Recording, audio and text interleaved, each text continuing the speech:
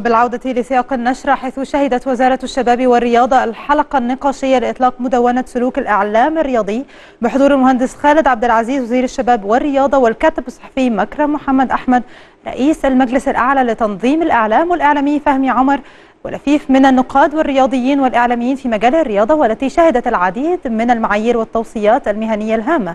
المزيد في سياق التقرير التالي.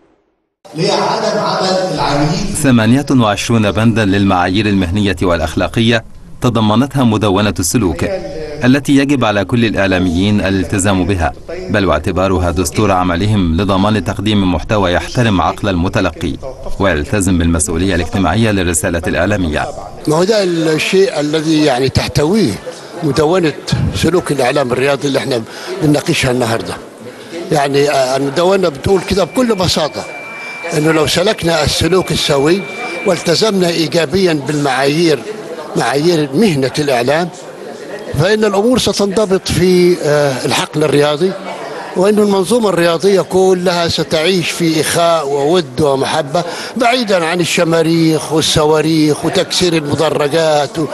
الذي ادى الأمر الذي أدى إلى انه ملاعب مصر هي الوحيدة في ملاعب الدنيا كلها التي تخلو من المتفرجين. المعايير يعني ما لازم تكون مهني وتكون موضوعي وتكون فاهم الشغلانة اللي انت بتشتغلها وتكون فاهم اللعبة اللي انت بتتكلم عنها ما ينفعش الإعلامي يبقى مشجع ما ينفعش الإعلامي ممكن يبقى دمه خفيف بس ما يهلفطش ما ينفعش كمان الإعلامي هقول لك أنا وجهة نظري بقى الشخصية يعني. أنا مش ما أنا شايف إن في العالم كله إعلام واحد بيطلع يقعد يدينا محاضرة ساعة ونص وبعدين يتكلم بعد كده. مفيش حاجة اسمها كده في الإعلام ابدا. وانطلاقا من أهمية الرياضة كلغة عالمية يفهمها الجميع في كل أنحاء العالم نظم المجلس الأعلى لتنظيم الإعلام. بالتعاون مع وزارة الشباب والرياضة حلقة نقاشية لإطلاق مدونة سلوك الإعلام الرياضي للارتقاء بمستوى الإعلام الرياضي في مصر.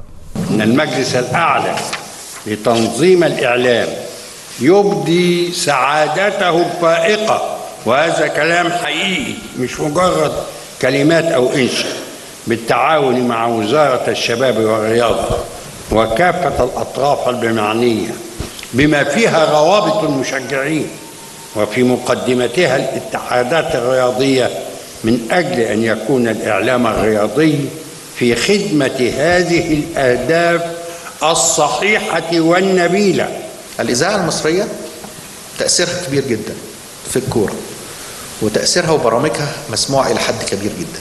فلابد لا نغفل دور الإذاعة المصرية في تأثيرها على الشباب وفي تأثيرها على كتير من الشباب اللي ظروف عمله ما بتخلوش يقدر يتابع التلفزيون. سواء في المواقع سواء في ال... وهم بيقودوا المركبات في أي حاجة لكن متابعين هذا الأمر. فلا بد إن إحنا نهتم أيضا بالبرامج الإذاعية المصرية لأنها لها تأثير كبير جدا ربما ما بيظهرش لكن في نفس الوقت بيبقى بيأثر بشكل كبير على عودة الجماهير.